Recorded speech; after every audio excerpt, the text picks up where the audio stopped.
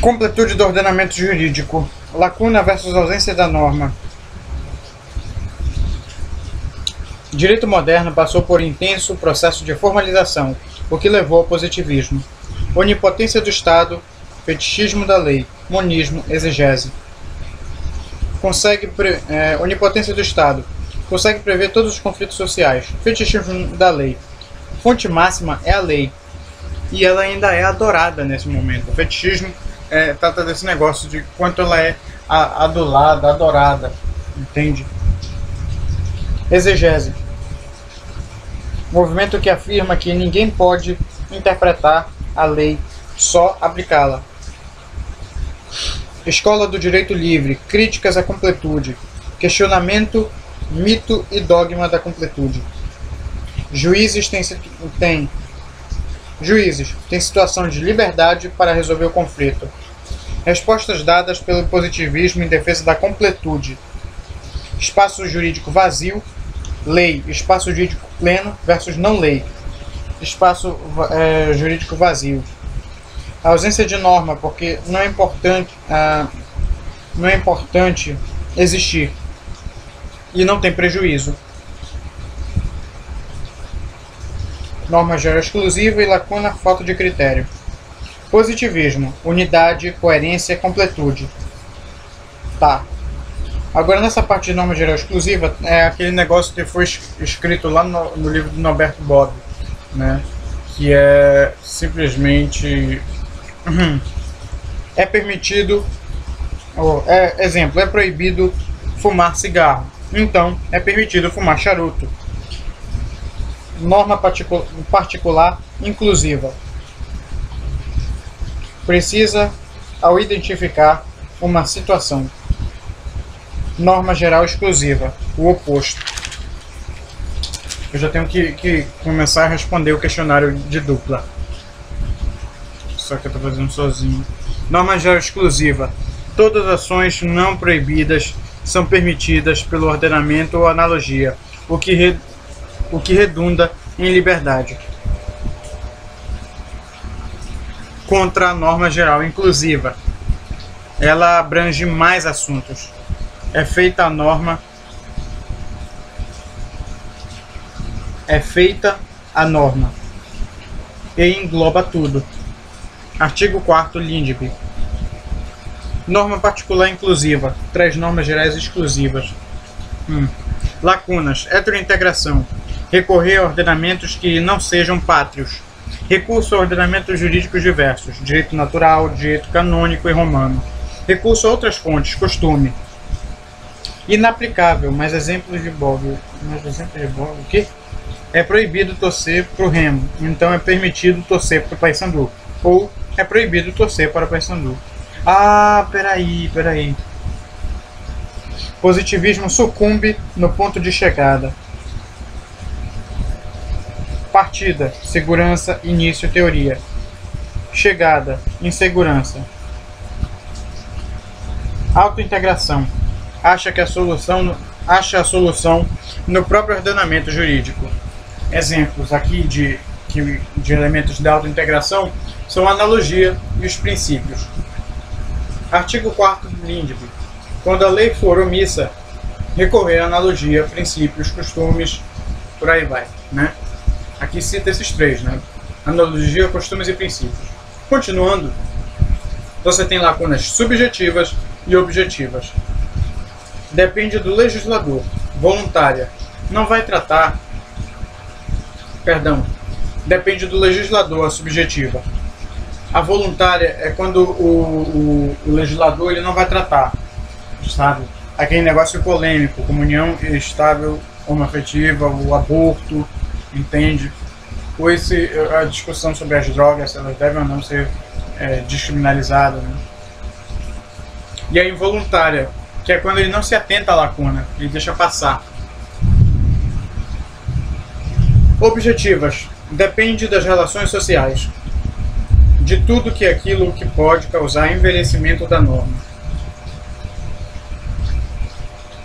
Para Dworkin, o ordenamento é completo, a norma particular inclusiva tem duas interpretações: a norma geral exclusiva ou a norma geral inclusiva. E quem dá a resposta, nesse caso, é o juiz. Lacunas ideológicas. Importante para Kelsen isso. Diferente de lacunas reais. Lacunas ideológicas. Inexistência de norma justa. Lacunas reais. Não existem porque o ordenamento é completo. Para o Bob e o Hart, elas existem. Analogia versus interpretação extensiva. Analogia: incorporação de semelhança de uma norma num caso concreto. Interpretação extensiva: expandir conceitos de lei, tornando-a mais abrangente. Primeira fonte para resolver um caso concreto é a lei ou costumes. A incompletude do ordenamento ju, eh, jurídico vem. Incompletude do ordenamento jurídico. Wellington Soares da Costa. É, deve ser um livro dele, sei lá. Interpretação extensiva. Artigo 5 da Constituição Federal.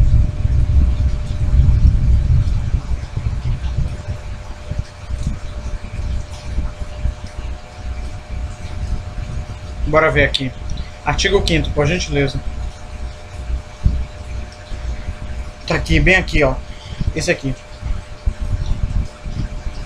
Todos são iguais perante a lei, sem distinção de qualquer natureza, garantindo seus brasileiros e os estrangeiros residentes no país a inviolabilidade do direito à vida, à liberdade, à igualdade, à segurança e à propriedade, nos termos seguintes. Aí nós chegamos no inciso, deixa eu ver, inciso 11. A casa é asilo inviolável do indivíduo, ninguém nela podendo penetrar sem consentimento do morador, salvo em caso de flagrante delito desastre, ou para prestar socorro, ou durante o dia por determinação judicial. E tem que ver um negócio assim, eles pensaram que não é só som, não é somente a casa, não é só somente, que coisa louca. É aquele negócio assim, de que se você está no seu trabalho, o seu trabalho também passa a ser a casa porque ele tem elementos semelhantes, entendeu, da sua casa. Assim como a sua escola, a sua faculdade. Aí isso abrange a casa, sabe? O conceito de casa ali, é, ele vai ser expandido.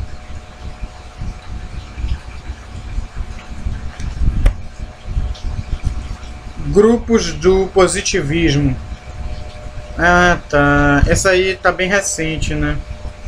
Eu vou deixar essa pra lá. E agora eu vou para os slides da monitoria. Bora lá. Não, que esse aí eu vou deixar para a próxima semana, que ainda tem pouca coisa. É a teoria do ordenamento jurídico, parte 2. Coerência do ordenamento jurídico, capítulo 3. Ordenamento jurídico estático, conteúdo. Normas derivam de um conteúdo em comum. Compatibilidade com conteúdo. Coerente. Exemplo: justnaturalismo. Obediência quanto ao conteúdo. Normas devem ser morais. Ordenamento jurídico dinâmico. Formalidade, autoridade. ênfase ao procedimento, autoridade, formalidade. Sucessivas delegações para produzir norma jurídica. Norma fundamenta norma. Não tem relação de obediência quanto ao conteúdo, mas quanto às autoridades. Exemplo: positivismo. Observação. Diante Direito deve apresentar técnicas para resolver as incoerências fruto do ordenamento jurídico dinâmico. Coerência do ordenamento jurídico, capítulo 3. Sistema. Compatibilidade de normas. Relação de comunicação entre elas. Antinomia. Incompatibilidade normativa. Obrigatório versus proibido. Obrigatório versus permitido negativo. Permite não fazer. Proibido versus é, permitido positivo. Permite fazer. Critérios: antinomias solúveis. Cronológico: lei posterior contra a lei anterior. A lei posterior prevalece, pois representa melhores expectativas sociais. Hierárquico: lei superior versus lei inferior. Lei superior prevalece. Especialidade: lei especial versus lei geral. A lei especial prevalece, pois é mais cuidadosa e específica quanto a certas situações. Exemplo: Código Civil contra o Código do Consumidor, de defesa do consumidor. Tá? inaplicabilidade dos critérios. Como solucionar um critério normativo no qual não se pode aplicar uh, nenhum dos três critérios, hierárquico, cronológico e de especialidade, para a solução da antinomia? Você tem três, três outros, que são abrogação, dupla abrogação e interpretação corretiva. Abrogação, eliminar uma norma. Dupla abrogação, eliminar duas normas. E interpretação corretiva, conservar as duas. Tem caráter interpretativo, realizada pelo juiz. Coerência do ordenamento jurídico. Conflito entre critérios. O que consiste o conflito entre critérios? Duas normas podem aplicar de, de, forma semelhante não apenas um critério de solução de antinomia, mas dois ou três critérios. Problema: a escolha de um dos critérios em é, detrimento do outro causará soluções diferentes. Cria-se uma incompatibilidade em segundo grau, antinomia em segundo grau, ou seja, a incompatibilidade entre os critérios que foram criados para resolver a incompatibilidade entre as normas. Hierarquia versus cronologia. Ai, minha, minha pescoço já tá doendo. Eu acho que eu, esse vai ser um dos últimos vídeos de hoje. Já tá doendo, cara. Constituição de 1988 contra Código Civil de 2002. Prevalece o critério hierárquico. Especialidade, cronologia, CDC 90 e Código Civil, Código Civil 2002. Prevalece de forma comedida o critério de especialidade. Hierarquia versus especialidade. Norma superior geral contra norma inferior especial. Critérios fortes, sua aplicação ficará a depender do entendimento do intérprete. Capítulo 4. Lacuna, ausência de norma. Lacuna, ausência de uma lei que deveria existir. ausência de norma, ausência de uma lei que não precisava existir. A completude representa uma onipotência do Estado ah, carrega o fetichismo da lei, a norma legislativa como fonte máxima de referência. Exegese. O pensamento da escola eh, da exegese reforçou a ideia da completude. A lei não possui falhas, portanto, deve ser interpretada nos limites do seu texto. Escola do Direito Livre. Estabeleceu as primeiras críticas à completude. Acreditava na existência de lacunas. Ai, ai, ai. Vou fechar aqui esse caderno. A escola de, da exegese francesa, século XVIII. Lá, legalismo, exaltação da lei como racional, objetiva e perfeita. Ordenamento jurídico é completo? Não, não, perdão, agora estou chegando de perto. Ordenamento jurídico é completo. Portanto, cabe ao juiz somente aplicar a norma aos fatos, não dá margem interpretativa para as decisões do juiz, pois lei, as leis são perfeitas. Não há, se, não há sequer interpretação, apenas obediência estrita à leis a lei. Juiz, papel mecanicista, neutralizado axiologicamente, simples subsunção dos fatos à norma, não representa a tendência atual do positivismo. Escola do direito livre, importante para fomentar discussão e críticas acerca da completude. Forte influência de correntes sociológicas, tendência realista, existência de lacunas e poder criativo, atribuído ao juiz. O juiz não é mais um escravo da lei. O ordenamento jurídico não é completo. O legislador não é onipotente. Falasse da ideia de completude, movimentos antiformalistas, questionamento do direito vigente, o direito deve ter aberturas, liberdade, corresponder aos anseios sociais e dar mais liberdade criativa ao juiz.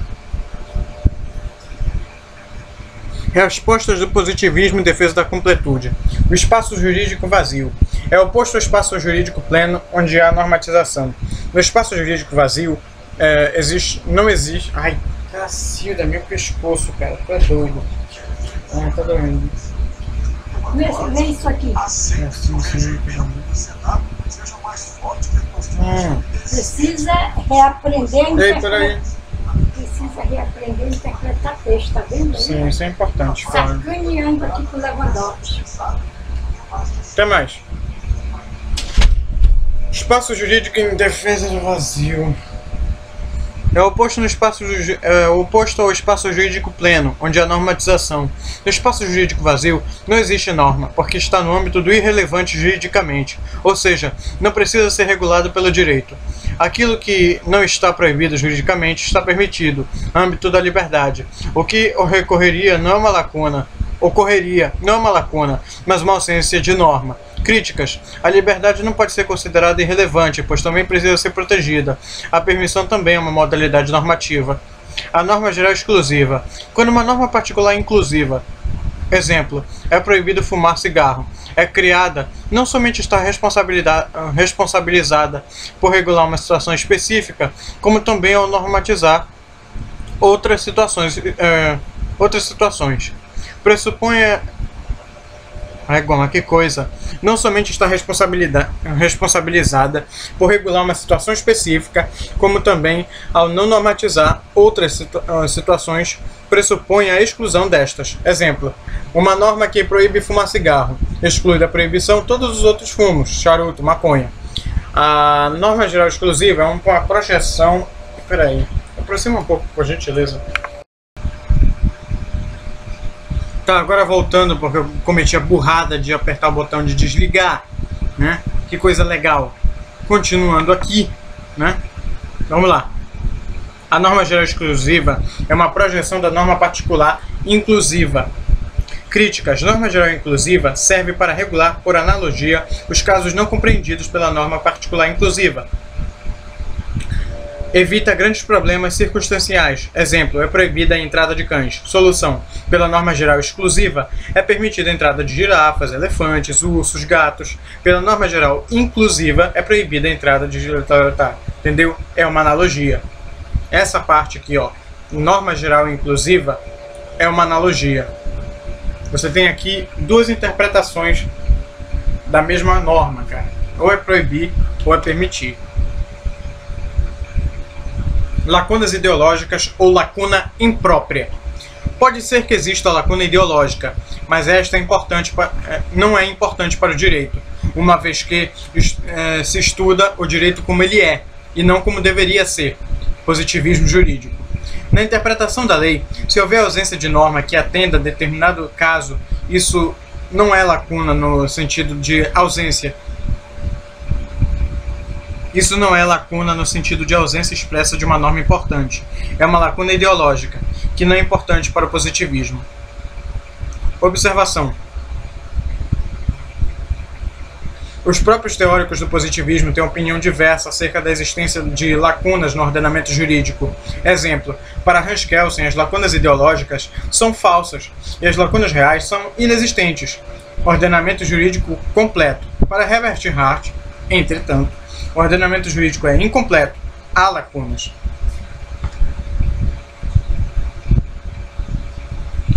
Lacunas reais ou próprias. É uma lacuna do sistema, enquanto que a imprópria deriva de uma comparação entre o sistema real e o ideal. Não é importante o positivismo. Quando se fala de ordenamento jurídico incompleto, é em relação às lacunas próprias e não às, às impróprias. Isso aí é tratado na parte do Norberto Bob, é, é, no capítulo 4 mesmo. Uh, o problema da completude diz respeito a como se pode eliminar as lacunas próprias. Com relação aos motivos que a procuravam, que a provocavam, perdão, podem ser subjetivas e objetivas. Subjetivas. A culpa, é, a culpa pela existência de lacuna do legislador. Voluntários. O legislador deixa de regular uma matéria de propósito, por esta ser complexa e involuntárias, quando o legislador deixa de criar norma por um descuido. Objetiva. Independe da vontade do legislador. Responsabilidade pela lacuna é da própria realidade social. Ocorre em casos nos quais as transformações sociais fazem o texto é, da lei envelhecer. Logo, tem que haver uma lei que acompanhe esta nova realidade. Ai, meu pescoço! Eu já chego. Chega de fazer vídeo por hoje é, dogma da completude. Bobbio reconhece a existência de lacunas. Para ele, o dogma da completude seria um mito. O ordenamento jurídico é, a cada momento, completável. Dois métodos para se completar um ordenamento jurídico: heterointegração e autointegração. Heterointegração: sair do ordenamento e encontrar um elemento externo, recurso a ordenamentos diversos, recurso ao direito natural, direito romano, canônico. Não é um método utilizado no Brasil, tá? Auto, autointegração, recurso a outras fontes que não, não a lei. Por exemplo, costumes, analogia, princípios. Costumes, sair do ordenamento para encontrar a solução em práticas sociais. Analogia, aplicação de um mesmo tratamento dado a um caso semelhante Princípios. Para o positivismo, os princípios seriam utilizados em hipótese de lacuna. Artigo 4 da Lindbergh. Quando a lei for omissa, os decidirá o caso de acordo com a analogia, os costumes e os princípios gerais do direito. E aqui termina o slide de ED. E igualmente termina esse vídeo. Acho que até segunda agora.